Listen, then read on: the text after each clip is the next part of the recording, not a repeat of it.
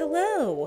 Welcome to Changeling Cast, the podcast dedicated to reading and dissecting urban fantasy, paranormal, and speculative romance series. I'm your host, Mara, from the YouTube channel Books Like Whoa, and this season we are making our way through Nalini Singh's Psy Changeling series.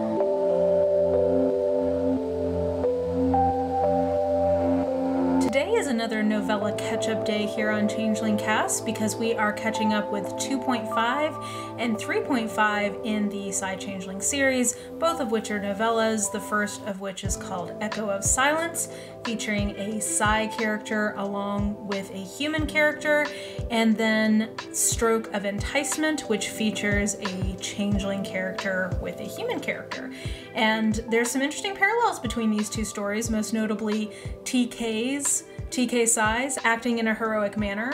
Uh, and actually quite like both of these novellas. I will say Stroke of Enticement is one of my ones that I've reread more frequently in the series because it is in that uh, bind up I mentioned the last time we were talking about novellas called Wild Invitation, which as a whole just I, I really enjoy all four of the novellas in there and uh, it is one of my, my favorite little collections in the series. But uh, before we get into talking about the novellas, I did just want to mention a quick logistics note, which is that I am slightly changing how I'm publishing these podcasts to YouTube.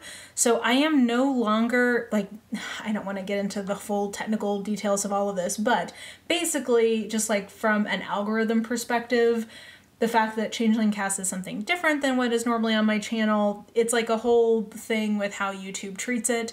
So to try to circumvent that, I am going to start posting these episodes into the Changeling Cast playlist that I have on YouTube, but it will not be officially published, so it will be unlisted on there. What that means for those of you who are mostly listening through the YouTube channel, basically you're just you're not going to get a notification anymore so you're going to need to go to the changeling cast playlist to find the episode but it will still be there at the same time Actually, I probably will go ahead and post it as soon as I have it ready. So it may even be earlier than you're normally getting it.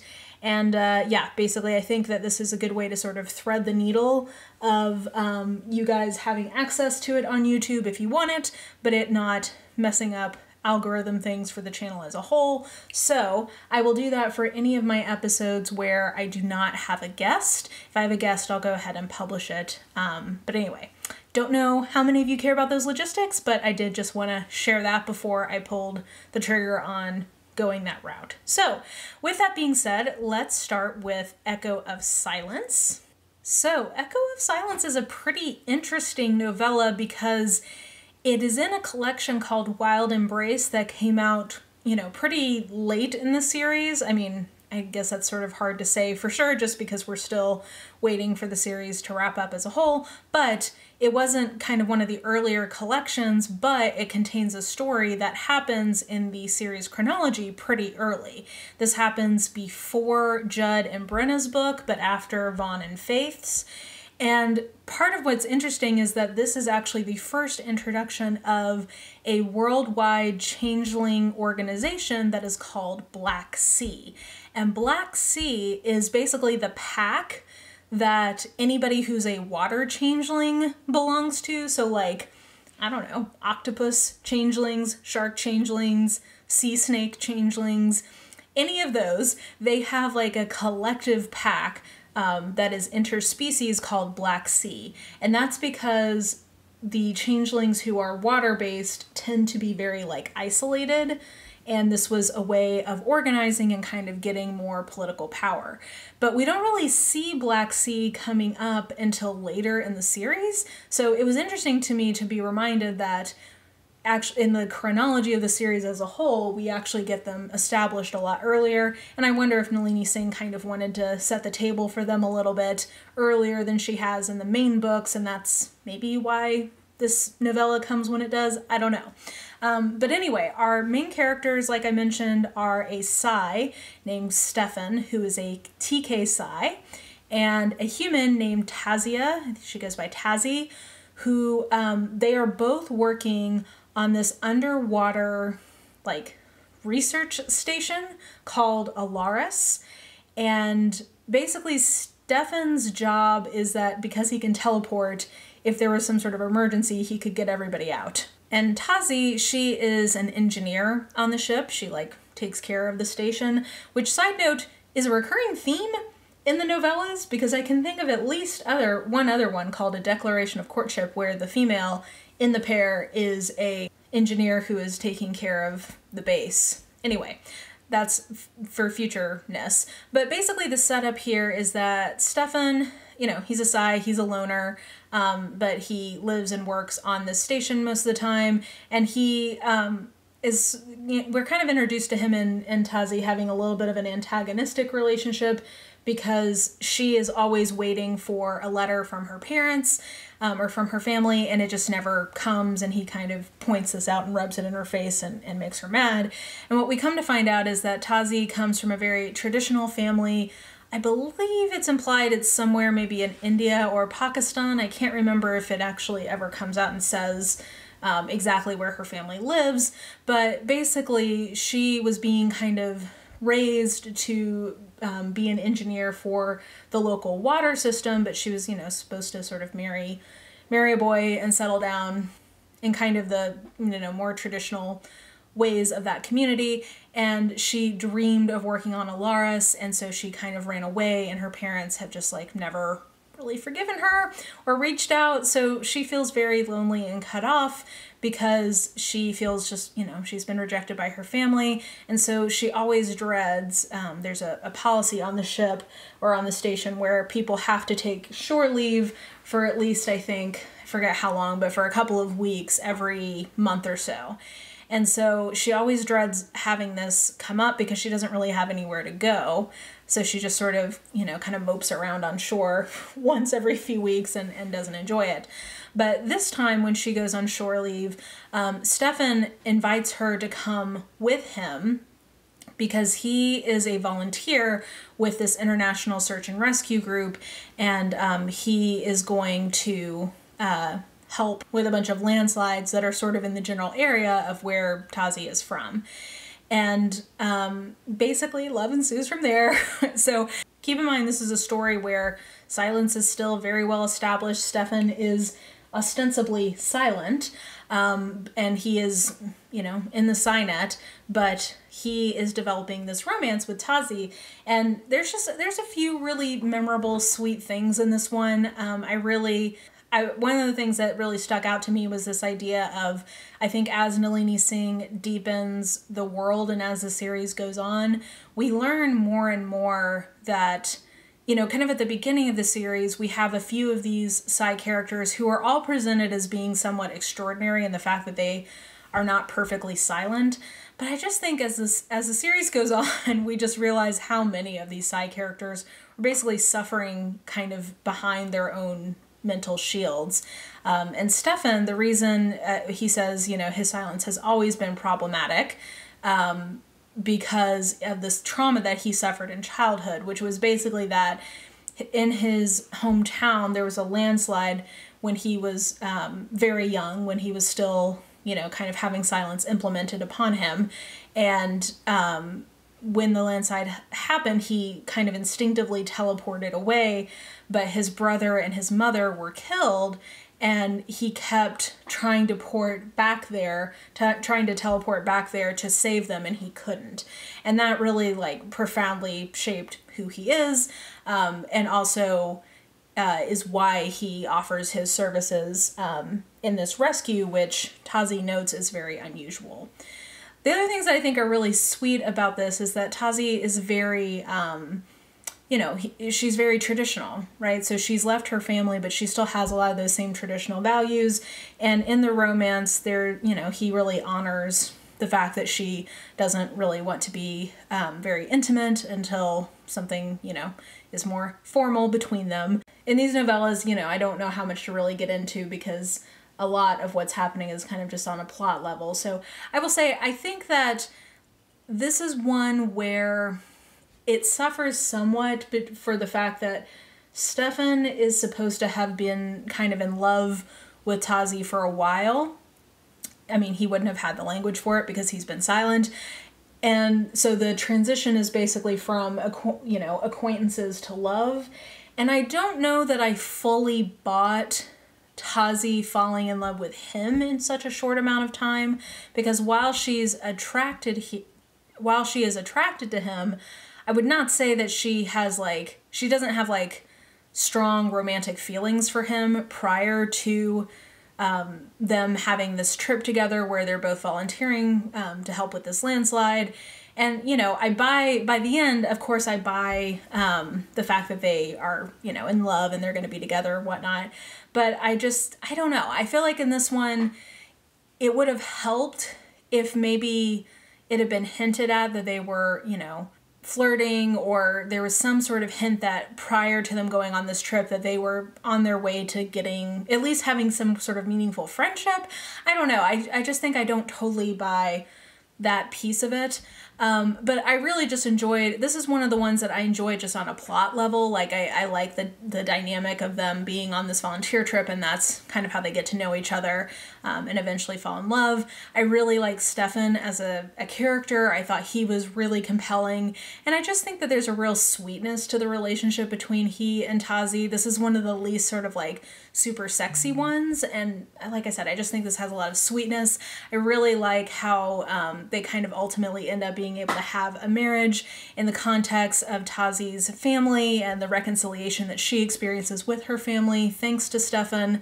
Um, and I, I just really, I just thought it was really sweet. Like this is just a very sweet story. Um, I particularly love. Um, he buys her this wedding outfit that he saw her admiring when they were uh, in this marketplace, and he brings it for her so that she can wear it for their wedding, but just has to kind of be a private wedding. And I think that was the whole. Um, I think that dynamic of of a couple with a Psy and a human who who while silence is still going and while he is still in the psi um, are going to have to find a way to be married and have a relationship together uh, in the context of it being a secret. Like I think it's a really kind of bittersweet ending in some ways because you know we have an idea of how um, they're going to manage that on the station. Uh, but i just think it's i don't know. I just felt like this was both sweet and very bittersweet. And i really love when when they finally are getting it on um, at their wedding. He's very you know careful with all of her wedding garments and he looks at her and he says i'm save i want to save these for our daughters because i have to believe she won't have to marry in secret. And i was just like i can't. This is so sweet. So anyway um I, I didn't pick up a lot of sort of macro themes in this other than just I really enjoyed this as sort of a thought exercise of what would romance with a Psy in the PsyNet look like um, while silence is still in place. Like he's not.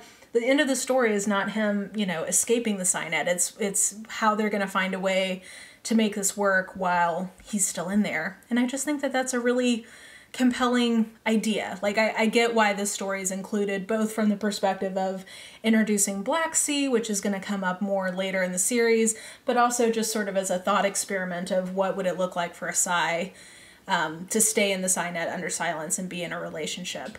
Um, I will also just mention the hair motif is back. He is also fascinated by her hair. Um, I feel like that is a recurring theme in these books. So um, that was Echo of Silence. I would give it like three and a half stars. Like I said, I think some of the kind of setup for it, I think could have been a little bit more successful. But overall, this is just like a very sweet, a sweeter version of a Psy changeling story than I feel like we often get. Then we get to Stroke of Enticement, which is one of my favorite novellas in the series. Like I said, I just really love this collection as a whole, but I really love this particular one as just a great. This just reads like a contemporary romance in a lot of ways, and this is one where I think the conflict, um, or sort of like thematically, this is dealing pretty overtly with this idea of like interracial romance in a way that I thought was was pretty interesting. So the setup for this is so this is 3.5, so this is after uh, Judd and Brenna's book. Um, and also, I should mention that the couple here, Zach and Annie, we actually see um, an allusion to their mating ceremony in the fourth book, which is Mind to Possess, which we just read last time. Um, but anyway, so this is them getting their story. And Annie is an elementary school teacher at a local school that has a lot of the Dark River Cubs in it. And uh, she has a student who gets in trouble one day, and he calls for his Uncle Zach to come pick him up. And hot Uncle Zach shows up with his quote, vivid aqua colored eyes, straight black hair cut in a careless way, copper gold skin, and bones that spoke of an ancestor from one of the native tribes. So, like, Zach shows up and is all like, he's just a fucking hottie basically. And annie is you know getting all you know worked up in her undercarriage. And uh, she you know basically it comes out that the reason that um, the little boy got in trouble was that he had hurt one of the other kids. Like he'd started a fight with him which was sort of out of character for him but he won't tell anybody why he did it. He will only tell his uncle zach. So zach comes and what he tells him is that um, this other boy was making fun of Annie because she has a, a limp. She has a leg that is um, somewhat crippled, and also that he was saying that his mom says that she's single because she's old and fat, which I take umbrage with based on the characterization of Annie. But so Zach doesn't sell out his nephew. He basically tells Annie, like, hey, we are going to take care of this at home. Um, he, you know, I know what he did, but I promised I wouldn't say anything, but here, here's how he's going to be punished. But hey, we should go out sometime, basically, because by, so he, you know, kind of is flirting with her. And by the end, when they're, he's walking her out to the car, he realizes that she's his mate. Like he realizes it really early on, like almost from the jump. Um, and so he's, you know, he gets her to agree to go out with him the next day. Um, but Annie, her whole conflict is basically that her mother is very overprotective and like borderline emo- emotionally abusive towards her. Basically, because when Annie was a little girl, the way that she injured her leg was that they were in a train accident, and her mother almost died trying to like heave the pieces of the train off of her. Like she was frantically trying to get um, her daughter free. But the way she was actually freed was that a tk Psy little boy showed up and moved the train off of her. So again we have tk Psy children in this one as with the last novella uh, showing up trying to help people. And remember this incident because it will is this foreshadowing for later on in the series.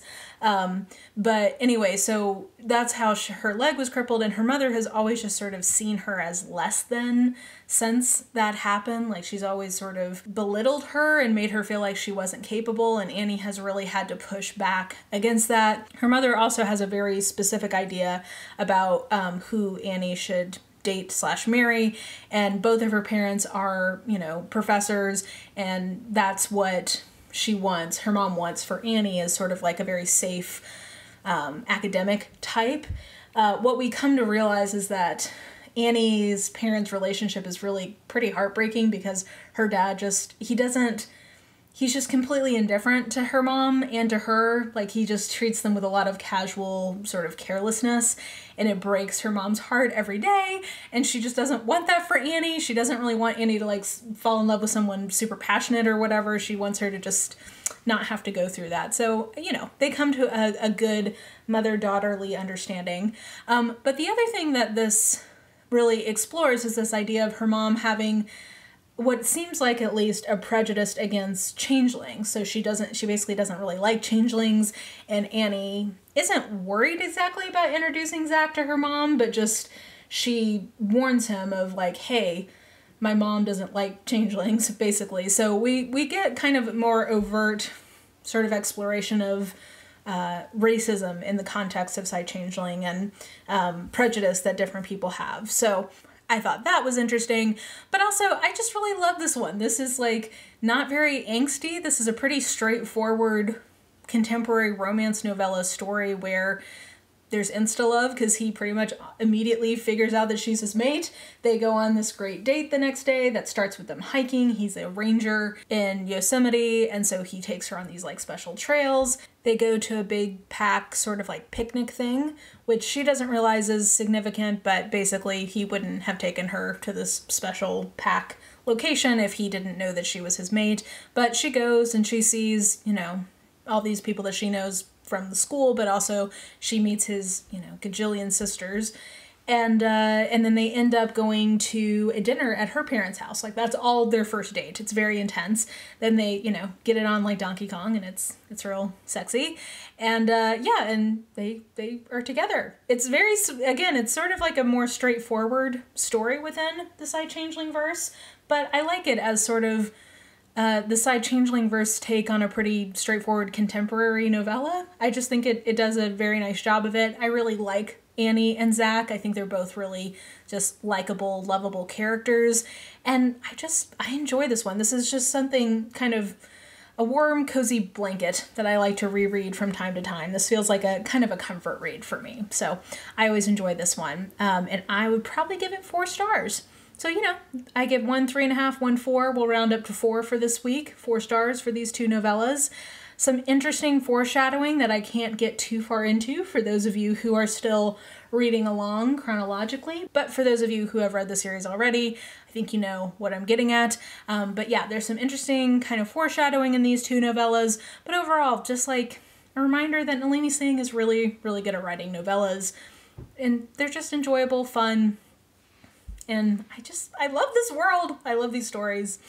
But anyway, that is this week's episode, and next time we will be back for a full novel, which I believe is Hostage to Pleasure, which is Dorian and Ashaya's story. So strap in. I don't remember loving this one, but I'm going to try to go into it with an open mind. And uh, I do really like Ashaya. It's more just, I don't know we'll see. I remember this one as being very alpha heavy in a way that I didn't love, but I will be interested to see how I do with it this time around. So I think that will do it for me for today. But yeah, if you would like to catch up with me or keep up with me, you can find me on all the social media things as Books Like Whoa, on YouTube, on Instagram, Twitter, Goodreads, all the stuff. Please take a minute to rate and review the podcast if you are enjoying it. It helps other people find it. And I will see you guys back here in two weeks for Hostage to Pleasure. Talk to you then. Bye.